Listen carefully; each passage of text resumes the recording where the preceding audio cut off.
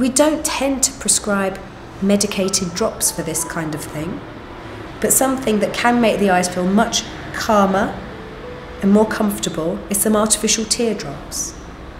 Occasionally, if your child has a really annoying or perhaps a particularly slow to resolve viral conjunctivitis, we can sometimes give you a very mild steroid drop to put in the eye, but that's something that really must be discussed with someone who's an expert at dealing with this condition. The vast number of children have no further problems a couple of weeks after their viral conjunctivitis. Occasionally, a viral conjunctivitis can cause the front of the eye, the cornea, to become a little bit irritated.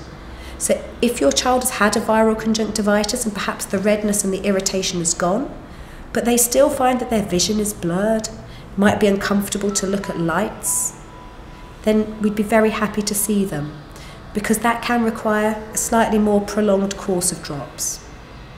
Again, it's something that should only be undertaken by someone who's very experienced in these matters. If you think your child has a viral conjunctivitis, we'll be very happy to see you at Clinica London.